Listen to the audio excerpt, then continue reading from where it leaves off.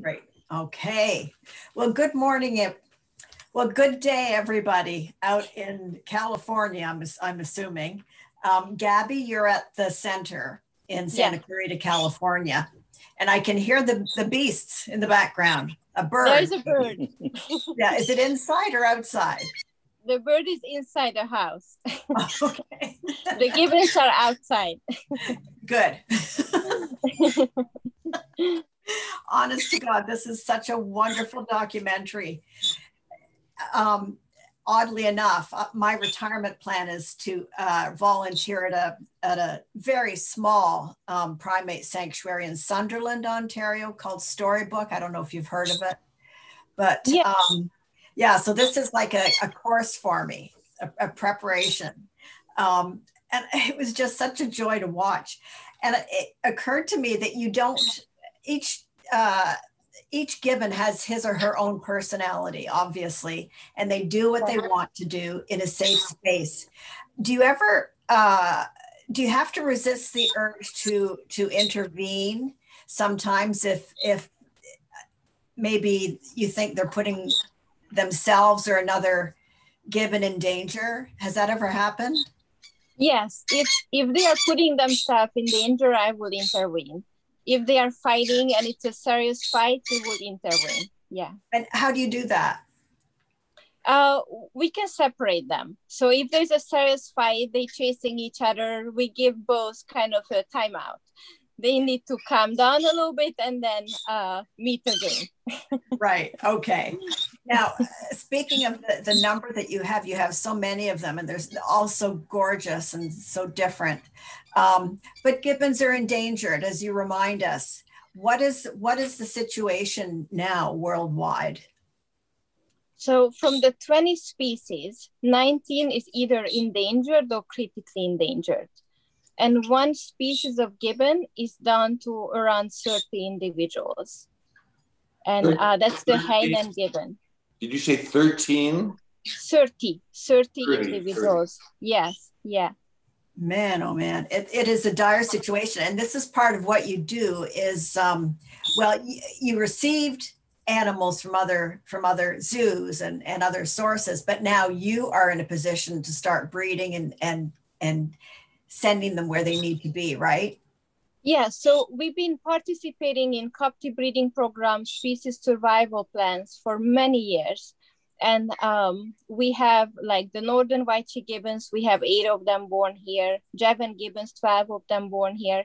And uh, they are kind of all over the world now. And we have one gibbon that it's a candidate to be released back into the wild so uh, it's possible that in the future there could be some captive born gibbons get get a chance to release back into the wild so that's one of our uh, goals for the future uh, that's so wonderful to hear. So wonderful to hear because, as one of the women in the uh, docu- documentary said, uh, you know, we're in a sixth extinction. Oh, it was Jane Goodall who said that. We're in a sixth extinction.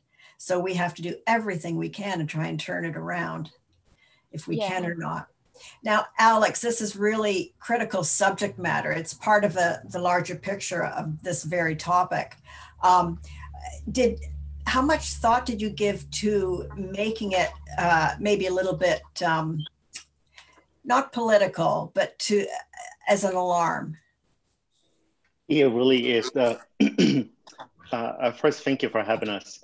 The um, it, it, took several iterations. In the very beginning, we thought of the film as a public information message.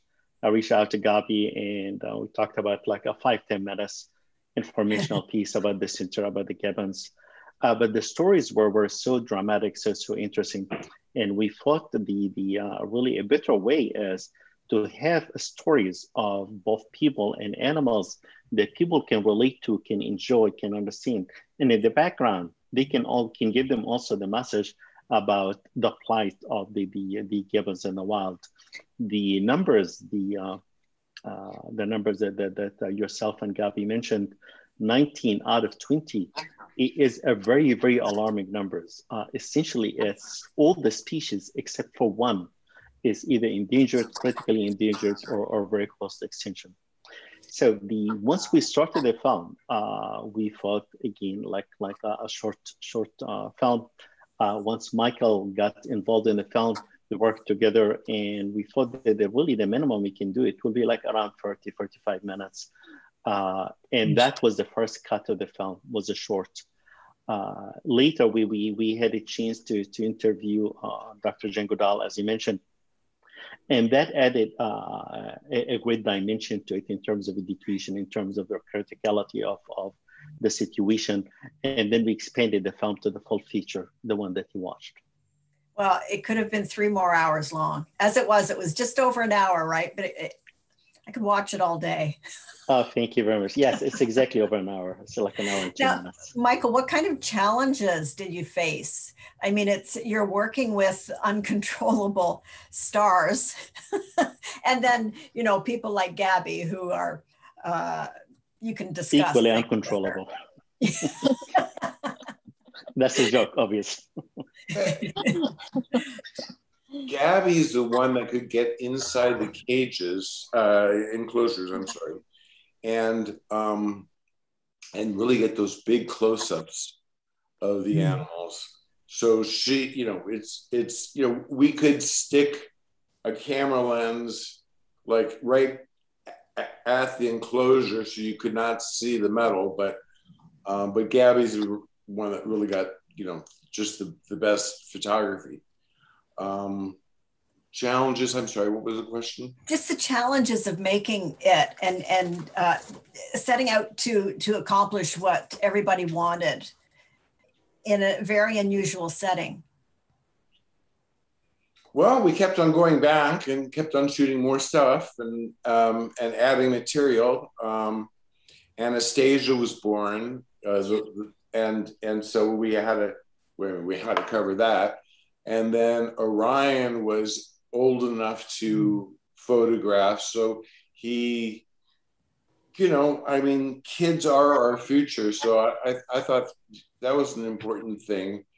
Um, but the challenges were just t- typical what you do. I mean, you know, lighting was always changing. So that's that's a challenge. It, it took a lot of post production coloring to kind of even out the lighting because within 20 seconds, you know, a shadow can, a, cloud can go over someone and it completely change the. But, yeah. but I, I, you know, it, it didn't, there wasn't a lot of challenges except for, you know, waiting for the animal to do something. I think they did quite a bit. well, that took a lot of photography to, to get to get to that point yes, yes, a lot of hours, a lot of footage to get an hour, I suppose. Yeah. Yeah, um, if I may add, it's uh, the uh, couple of times, actually not a couple of times, uh, almost all the time, when we were recording, when Michael, myself, and Gabby are recording interviews with, with people, very often the gibbon started to sing like in the middle of it, and then you wait, and then uh, which is very, very, uh, very beautiful. You record them and then uh, wait and start over and then they might sing again. So they, they had this aspect. It wasn't really a challenge. It was fun uh, but was was out there that we're not following our schedule. Essentially the schedule is dictated by the gibbons so why did they do that? For they figured they weren't getting any attention gabby uh, they sing every day a couple of times. It's usually to mark their territory. But very often when I'm giving a tour, they will start singing in the middle of the tour. And just like my parrot, I'm talking, he wants to vocalize because it's like a little bit of a competition. Who's the loudest? That's funny. Yes, and I do want to talk about the sound that they make, the singing it's eerie. It's it's like hearing the whale music for the first time. Just stunning. And I mean, maybe you've thought of it, but perhaps you could release a CD as a fundraiser of the song because people would love to have that. Yes, we actually make, make a CD just with my recordings, but we've been talking about making like a professional recordings and release a CD. That that would be great. It's a lot of fun to to hear it. And it's so interesting to see how they form them when you're nice and close up uh, and the two faces together, and you can see them forming the sounds. and understand how they make them and wondering, you know, what are they saying? But you say it's territorial. They, So they have- mark, yeah. Yeah. So they have to mark their territory every morning. Yes, but it's more than just marking the territory. It's also express belonging and families sing together. And the mother and daughter has a very strong bond. And from the beginning, when the infant is just a couple weeks old, they start singing along with their mother and they often put their faces right next to each other to sing together and able to coordinate together. And then because here we have uh, 37 gibbons, they often all sing together. And uh, Pepper is one of the hero of the movie. She's the lead singer. And we have other gibbons that wait for Pepper to start and sing along with her. And if one decide that today I'm gonna start, Pepper just ignores them. so it's a community song. Well, you know, it, and things got pretty tough between a, a couple of the males a few times. Um, I mean, they're very passionate creatures uh, and they're not, you know, socialized the way we are. They're socialized the way they are. Uh, so it was fun to get a glimpse of that. Um, how much time do you spend like just taking it in, or do you have time to do that? To I'm appreciate it? pretty much outside all day. So I take care of them, but at the same time, I'm watching them. I live on site. So yeah, uh, this is my life living among uh, 37 gibbons. So I'm taking it in. Yes. And if something happened overnight, I'm the one who hear it first. yes. Oh, and another thing, uh, the wildfire that came through some years ago, there wasn't a recurrence this year at all, was there? There is every year there is uh, a couple of fires near or in Santa Clarita, uh, but that one was the closest. Man, oh man, that was that was heart pounding. And Yeah. Did they? They obviously recognized that something was wrong you, because it's said. Um, but how, how did you recognize that something was wrong? What were they doing? You know, it's interesting. I they didn't really get it. So there were flames on the other side of the road next to us, and I continued feeding them um, to keep All night. everybody calm. Um, at night, they just went to bed, and there was a few gibbons that were just kind of sitting out and just monitoring things. Uh, and we were out also, you know, hosing things down and monitoring the fire but they were not like making an alarm call. They were very quiet. Yes, yes. Yeah. That was pretty hair raising. Michael, did you have a favorite gibbon or pair of gibbons that you grew attached to? Well, Pierre, because he loves me so much. Are you saying he didn't because he doesn't like men, right? It was like, man, yeah. yeah. That's what, and, and Violet's pretty cool too. Um, I want to point out something about sound that you mentioned. Um, there's a little section, um, um, and it's a UCLA uh, uh, graduate student. Is that is that right, Alex? He's a graduate. He is a PhD student, yes. Okay. Chris, is it? Tyler. Tyler was his Tyler. name. and it- it's about a three minute section of the movie. But he built this device that could record, I think, six sets of ears. And also, his camera can go around. So, um, you know, it, we had to fake it because we were only, I mean, if, if you got to hear it in 5.1, you could hear it a little bit better. But this you could hear the sounds moving around you. You were talking about um, the sounds. Yeah, that was amazing.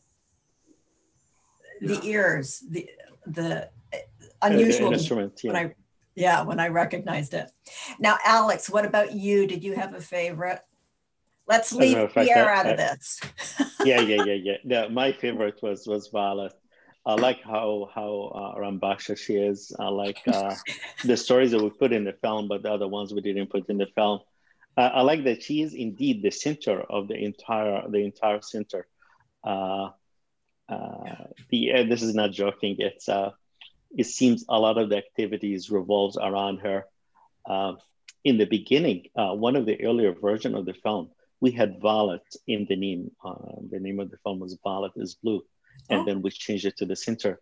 But she, she, was such an instrumental and such a charismatic and such an, uh, you know, uh, attention grabbing uh, gibbon that uh, she was the focus. And it's really very hard not to love her. No kidding. I just want to speak um, briefly. I don't want to give away what happened, but something takes place towards the end of the film that's kind of mystical or weird or unexpected.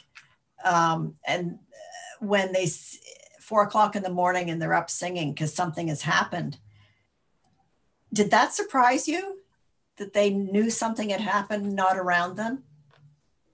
Are you asking me or asking Gabby? Oh, I was asking Gabby. Yes, of course. Yes. So when I heard it, um, I was surprised, but I also kind of knew what what happened.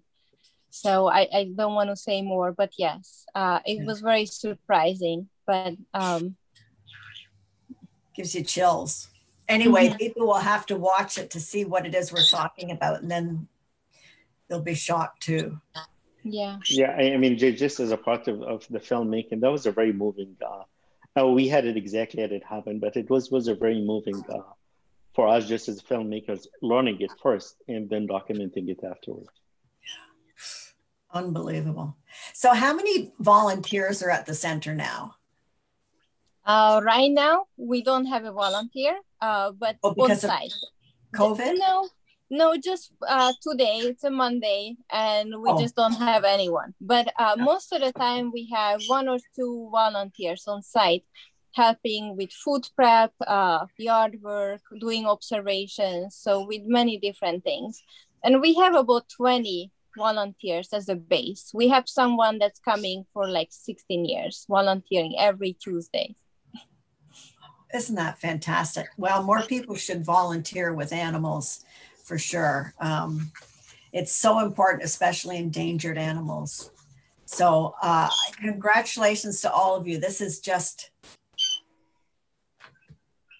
warms my heart. It's such a wonderful film and it's so hopeful and there's so much thank emotion you. in it.